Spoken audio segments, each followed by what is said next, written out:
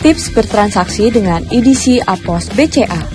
Pertama, saat input PIN, pastikan tidak ada yang melihat agar kerahasiaan PIN tetap terjaga. Gunakan tangan untuk menutup angka yang diinput di layar EDC. Kedua, pastikan kartu selalu dalam pengawasan dan nominal transaksi sudah sesuai. Ketiga, hindari bantuan orang yang tidak dikenal dan jangan share data-data pribadi kamu. Terakhir, jangan lupa untuk ganti PIN secara berkala. Pakai kombinasi PIN yang sulit ditebak.